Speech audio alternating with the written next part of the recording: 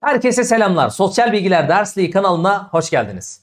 Malum yazılı tarihimiz yaklaşıyor. Biz de bugün 10. sınıf öğrencilerimizle birlikte tarih dersi 1. dönem 1. yazılıya açık uçlu sorularla hazırlık çalışması yapacağız. Soruları ben hazırladım arkadaşlar.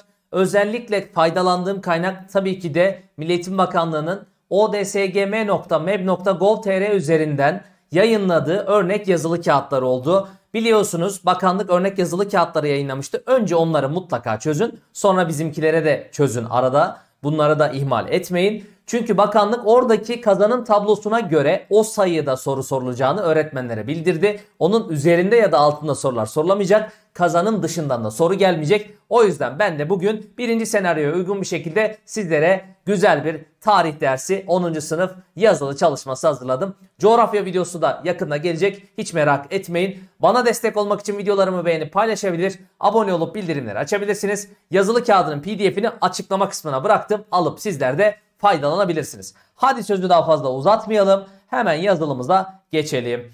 Yazılımızın ilk sorusunda biz şunu sorduk size. Malazgirt Savaşı sonrası meydana gelen yukarıdaki siyasi gelişmeleri kronolojik olarak sıralayınız. Çünkü ilk konu, ilk ünite, ilk konu sizden kronoloji bilmenizi istiyor. Yani tarih bilmenizi istiyor. Kronoloji nedir? Ee, burada önceden sonraya doğru bir sıralama yapmaktır. Yani olayları önce sonra şeklinde sıralamaktır. Peki şimdi bunlara baktığımda ben bunların arasında şöyle ki e, Köse Dağı Savaşı'nın 1243 yılında olduğunu biliyorum. Bunun tarihini hemen buraya yazdım. 1243 Köse Dağı.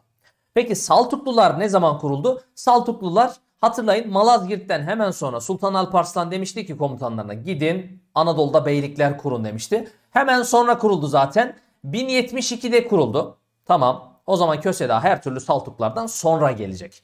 Peki Babayiler isyanı ne zaman çıktı? Babayiler isyanı devletin zayıflamasına sebep olan bir isyan. Hatta bu süreçten sonra da zaten devlet yavaş yavaş yıkılış sürecine doğru gitmeye başlıyor. 1240 tarihinde olan bir olay ve Türkiye Selçuklu Devleti kaç yılında kuruldu? Türkiye Selçuklu Devleti de 1277 yılında kuruldu. Bunu da böyle kabul edebiliriz. Şimdi ben tarihlerimi yazdım. Peki burada sıralama olarak nasıl ilerleyeceğim? Şöyle ilerleyeceğim. Burada tarihi yazmanızı istemedi aslında. Bakın burada aslında ezber bilmenize gerek yok. Burada konu sırası bilseniz yeterli arkadaşlar. Ben önce hangisini işledim sonra hangisi geldi diye konu sırasını bilmeniz yeter. Sizden tarihi ezber bir bilgi istemedi. Ben ama yine de yazdım yanına garantiye alayım diye. Şimdi bakıyorum ilk olarak tabii ki birinci sıraya önce ne gelecek? Saltukluların kurulması, Saltukluların kurulması gelecek. Şöylece kısaca yazayım. Peki 1072'den sonra tarihime bakıyorum. E, sıralamada ne geliyor? 1240 geliyor arkadaşlar. 1240 Babayiler geliyor. Peki Babayileri de buraya yazdım. Babayi isyanda 1240.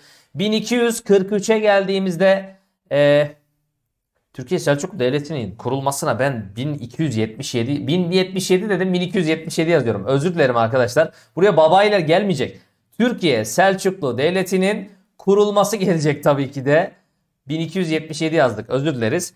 1077 ee, deyip 1277 yazmak da ilginç bir şey oldu. Neyse devam edelim. 1240 Babayiler buraya gelecek 3. sıraya. Bunu da buraya yazdım ve son olarak da 1243 Köse Dağı'da son sıraya gelecek. İşte bu şekilde bir kronolojik sıralama oluşturacaktık. Burada tabii ki tekrar söylüyorum ezber tarih bilmenize gerek yok. Konu sıralamasını aklınıza getirirseniz daha rahat edebilirsiniz. Peki ikinci soruya geldim. İkinci soruda bana diyor ki Türklerin Anadolu'yu yurt olarak seçmesinin 3 nedenini yazınız diyor. Öncelikle şunu belirtelim. Zaten insanlar verimli toprakların olduğu yere yerleşirler. Yani ben ilk sıraya kesinlikle verimli topraklar ve burada bulunan su kaynaklarının varlığını yazabilirim. Çünkü bir yere yerleşmekte en önemli şartlar bunlardır. Çünkü tarım yapacaksın, geçimini buradan sağlayacaksın. Yine Anadolu'ya baktığımızda Anadolu biliyorsunuz ki arkadaşlar ticaret yolları üzerinde ticareti ele geçirmek için tabii ki burada ticaret yollarını ele geçirebilmek için ve ticarete hakim olabilmek için Anadolu'yu yurt olarak seçiyoruz. Bir de şuraya şunu yazabiliriz tabii ki de Anadolu'yu neden yurt seçtik? Çünkü Anadolu'da bir baş yok. Yani buraya şöyle yazabilirsiniz. Baş yok yazmayın da bir Anadolu'da otorite boşluğu var arkadaşlar. Otorite boşluğu var. Hani Bizans devleti güçsüz. Buraya daha rahat yerleşebiliriz. Bu yüzden bunu da yazdığınızda Zaten Türklerin Anadolu'yu yurt seçmesinin 3 nedenini yazmış oluyorsunuz. Soru bizim için bitti demektir. Geldim 3. soruya. 3. soruda bana diyor ki Türkiye Selçuklu Devleti ve Bizans arasında yaşanan Miryokefalon Savaşı'nın sonuçlarından ikisini yazınız. Tamam sonuçlarından ikisini yazalım. Arkadaşlar biliyorsunuz ki bu savaştan sonra Anadolu'ya artık Anadolu demiyoruz. Anadolu'ya ne demeye başlıyoruz? Anadolu'ya Türklerin yaşadığı yer anlamına gelen Türkiye denilmeye başladı. Başlandı diyebiliriz. Anadolu'ya Türkiye denilmeye başlandı. Yani artık Anadolu Türkiye haline geldi. Peki benim için asıl önemli sonucu yazıyorum. Zaten ikisini yazınız dedi. Bu savaştan sonra hatırlayın Bizans Anadolu'yu Türkleri e, Anadolu'dan Türkleri atabileceğini umuyor muydu? Hayır. Niye biliyor musunuz? Çünkü artık sürekli yeniliyor ya. Yani Pasinler oldu, Malazgirt oldu, yenildiler, yenildiler. Mirio Kefalon'da da yenilince şunu anlıyorlar. Türkleri Anadolu'dan atamayacağız. O zaman kesinlikle bunu yazın arkadaşlar. Türkleri Anadolu'dan Anadolu'dan atamayacağını atamayacağı anlaşıldı. Kimin anlaşıldı? Bizans'ın bu işi beceremeyeceği anlaşıldı. İyi ki de becerememiş. Evet bak zaten bu iki sonucu yazmamız bizim için yeterli olacaktır. Üçüncü soruyu da bu şekilde tamamladık. Peki geldim soru dörde. Dördüncü soruda bana diyor ki aşağıda Haçlı seferlerinin bazı sonuçları verilmiştir. Bu sonuçlar hangi alanla ilgilidir sırasıyla yazınız diyor. Güzel. Peki alan bak alan deyince aklınıza şu gelecek. İşte siyasi alan, ekonomik alan, e, yine sosyal alan, kültürel alan bunları aklınıza getirebilirsiniz. Dini alan bunlar aklınıza gelebilir. Bakalım hemen. Haçlı seferlerine katılan birçok derebeyi yani senyor öldüğü için Avrupa'da merkezi krallıklar güçlendi. Haçlı seferleri sonucunda Akdeniz'de limanı bulunan devletler arasında deniz ticareti gelişti. Pusula, kağıt, matbaa, barut gibi önemli icatlar doğudan Avrupa'ya götürüldü. Bakın ben 3 yer görüyorum. Burası 1, burası 2, üçüncüsü de burada. Şimdi derebeyleri ölüp merkezi krallıklar güçlendiyse bu tabii ki de siyasi alanla ilgili olacaktır.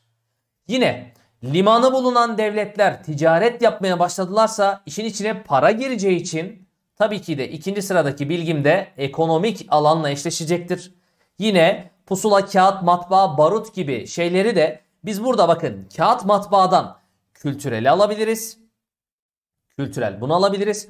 Pusula ve barut özellikle barut olayından askeri diyebiliriz ama daha çok biz burada kültüreli yazsak yeterli olacaktır. O yüzden bu soruyu da bu şekilde halledebiliriz.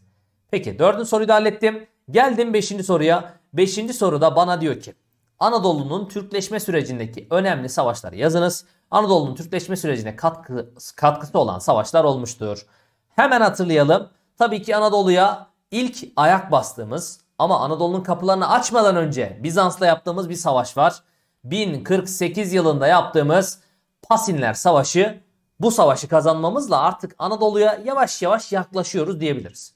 Yine Anadolu Türk tarihini başlatan çok önemli bir savaşımız var. Bunu yazmadan zaten olmaz.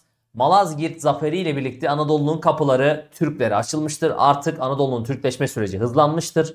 Ve en son biraz önce 1176 yılında yapılan Miryo Kefalon Savaşı ile biz şunu biliyoruz ki Miryo Kefalon Savaşı ile de Anadolu'nun Türklüğü kesinleşmiştir. Anadolu'nun Türk yurdu olduğu kesinleşmiştir. Çünkü bizi atamayacaklarını anladılar. Yani Anadolu'nun tapusunu aldık. Bakın burada şöyle diyebiliriz. Pasinlerle Anadolu'ya yürüdük. Malazgirt'le Anadolu'nun kapısını açtık.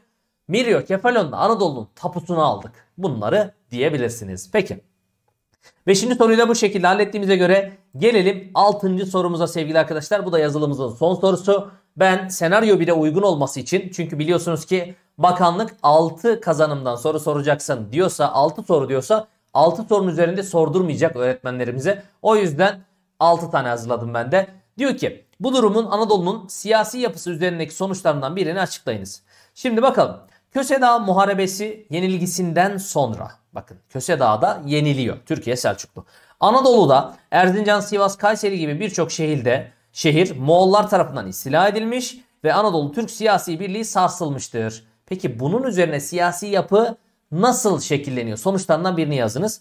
Peki Anadolu Moğol istilasına uğradıysa, Anadolu'da birlik bozulduysa, artık Türkiye Selçuklu hakim değilse şöyle diyebilir miyiz? Burada ne başlamıştır? İkinci beylikler dönemi başlayacak sevgili arkadaşlar. İkinci beylikleri de zaten siz hani biliyorsunuz burada Karesi yolları, Germiyanoğulları, Osmanoğulları ki zaten ikinci ünitenizin konusu biliyorsunuz. Yine baktığımızda Karamanoğulları, Saruhanoğulları, Aydınoğulları gibi Eretna Devleti gibi ikinci beylikler başlıyor arkadaşlar. Bu siyasi bir sonucu zaten bize birini yazın dedi. Ama şunu da yazabiliriz. Tabii ki de Anadolu'da Anadolu'da birlik bozuldu. Aslında bunu yazmanız doğru da olmayabilir. Çünkü şu cümlenin içerisinde verdi ya Anadolu siyasi birliği sarsıldı ama bozuldu da hani yazdınız diyelim aklınıza hiçbir şey gelmezse bunu da yazabilirsiniz. Böyle bir soruyla karşılaşırsanız.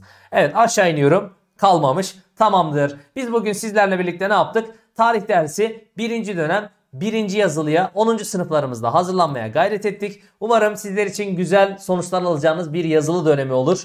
İnşallah faydalı bir video olmuştur. Yine biz coğrafya videosuyla da yanınızda olacağız tabii ki de. Sene içerisinde de diğer yazılı videolarımızla eğitimle ilgili bilgilendirmelerimizde her zaman yanınızda olmaya çalışacağız. Bana destek olmak için videolarımı beğenip paylaşabilir, abone olup bildirimleri açabilirsiniz. Kendinize iyi bakın. Başka videolarda ve derslerde görüşmek üzere.